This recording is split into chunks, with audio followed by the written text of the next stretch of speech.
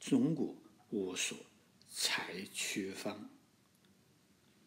天堂故事一：圣经上说，天堂好似渔夫撒网，把鱼虾拉上岸来，把水草烂泥扔掉。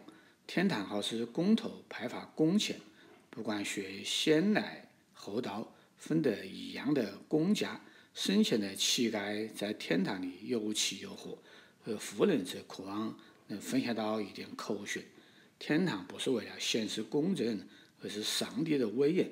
所谓的圣饼圣杯不值一提。今日普通家庭的一餐都比圣餐丰富美味。无刺的玫瑰永不枯萎的花，廉价的塑料花已经兑现。与其在天堂里经受无聊的折磨，永远的白昼，永远无所事事，还不如去向被称作硫磺火湖的地狱。在日本，热汤池那是上好的温泉汤池。二，天堂故事，天堂代表人的善意渴求，还是代表人的野心欲望？天堂的字句看似纯洁的爱与信仰。